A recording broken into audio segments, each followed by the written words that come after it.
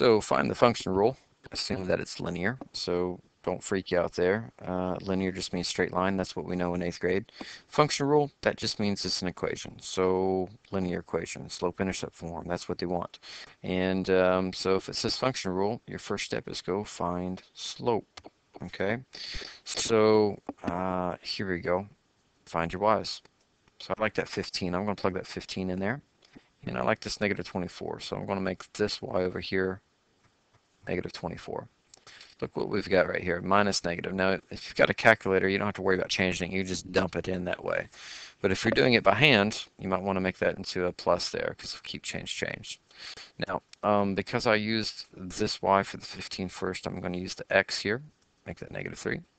And because I used the negative 24 for the second y, this 10 right here is going to become this x. Plug it in, go calculate my slope, and it's negative 3.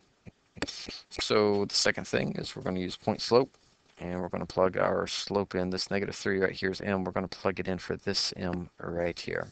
Okay. And uh, let's see, which xy do I want to plug in here? Because I've got to plug in here for the y1 slot and the x1 slot.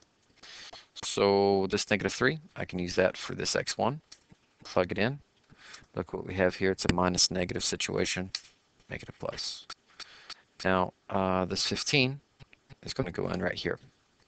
And because it's not a negative 15, we're just going to leave this as y minus 15. Um, let's get rid of the parentheses now. Multiply. Multiply again. A negative times positive is negative. The y minus 15 drops. And now just get rid of the minus 15.